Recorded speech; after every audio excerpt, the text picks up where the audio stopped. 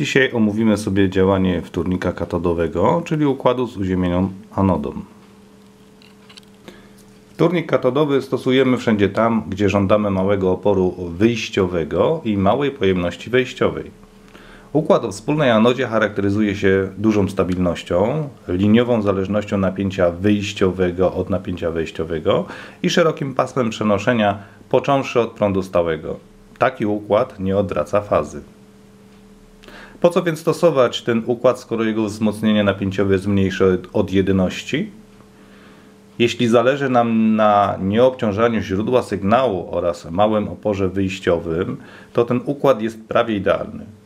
Możemy go stosować także jako separator układu lub liniowy regulator napięcia wyjściowego.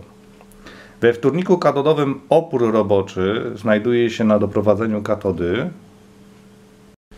ponieważ napięcie wejściowe wynosi US plus UK, to napięcie wyjściowe jest od niego mniejsze i wzmocnienie napięciowe układu musi być mniejsze od jedności.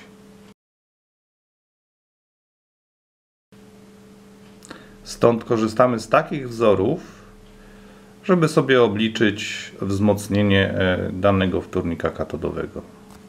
Z tego powodu, że we wtórniku katodowym istnieje duża różnica między oporem wejściowym a oporem wyjściowym, to jest kilka megaohmów versus kilkaset ohmów, uzyskuje się duże wzmocnienie prądowe. Układ taki wydaje się idealny do zasilania regulatorów wzmocnienia i jako obciążenie pasywnych e, filtrów barwy dźwięku. Lampy do wtórnika katodowego należy dobrać pod względem dużego prądu anodowego, na przykład lampa ECC81. Dane możemy sprawdzić w katalogu i wybrać odpowiednią lampę. Nie będziemy omawiać e, szczegółowo wtórnika katodowego w oparciu na przykład o pentodę, ponieważ nie zależy nam na szczególnie małym oporze wyjściowym. Wynika to z dużego oporu wewnętrznego lampy. Takie układy wykorzystuje się na przykład do dopasowania wzmacniacza impulsowego do przewodów współosiowym o małym oporze falowym. Opór wyjściowy w układzie z triodą w zupełności nam wystarczy. Tutaj mamy typowy układ wtórnika katodowego do wykorzystania w układach audio. Przy napięciu zasilania na przykład 260 V rezystancje wynoszą odpowiednio RS może być około 680 kiloohmów, RC może być około 1 kOhm, a RC1 może być około 10 kiloohmów. Polaryzację siatki uzyskuje się z dziennika rezystancyjnego RC i RC1. Większy spadek napięcia występuje na RC1, więc y, napięcie 7 V z RC tutaj jest wykorzystywane do polaryzacji siatki. Rezystor RS jest włączony między siatkę lampy a ten dzielnik napięcia. Impedancja wejściowa stopnia nie jest ustalona tylko przez RS, ale dzięki działaniu obwodu katodowego wynosi w tym przypadku około 10 megaohmów. Dlatego też mały kondensator sprzęgający, na przykład 10 nanofaradów, powinien wystarczyć.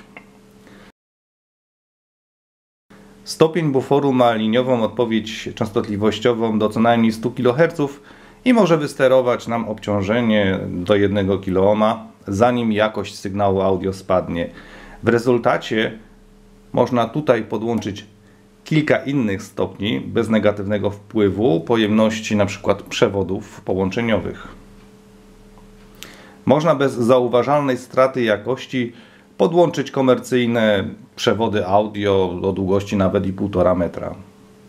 Sygnał jest przekazywany z katody na wyjście przez kondensator z dielektrykiem stałym, na przykład 10 nanofaradów, który jest odpowiedzialny za wysokie częstotliwości i kondensator elektrolityczny, na przykład 10 mikrofaradów. Ten rezystor na wyjściu zapewnia punkt odniesienia dla kondensatora elektrolitycznego, tak że ładowanie i rozładowywanie tego kondensatora nie powoduje żadnych dźwiękowych zakłóceń. Taki wtórnik katodowy możemy zastosować jako lampizator pomiędzy odtwarzacz kompaktowy i wzmacniacz mocy. Wniesie on trochę parzystych, harmonicznych i da namiastkę lampowego wzmacniacza w układzie tranzystorowym. W purystycznych wzmacniaczach mocy, gdzie zastosowano tylko i wyłącznie potencjometr y, regulacji poziomu, korzystne jest zbudowanie takiego układu na wejściu przed takim potencjometrem.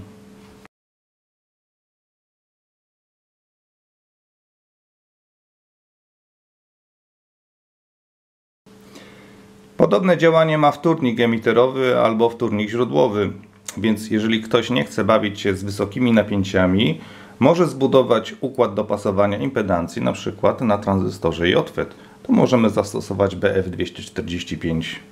Policzyć układ można według podanych poprzednio wzorów.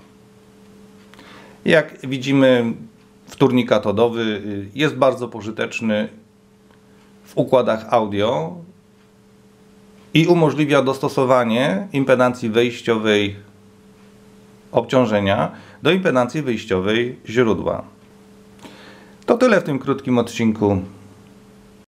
Obliczenie kompletnego wtórnika katodowego można znaleźć na przykład w tej książce, z której korzystałem przy tworzeniu tego odcinka. Jak widzimy, wzory, które omówiłem, są podane w tej książce. Wyjaśnienie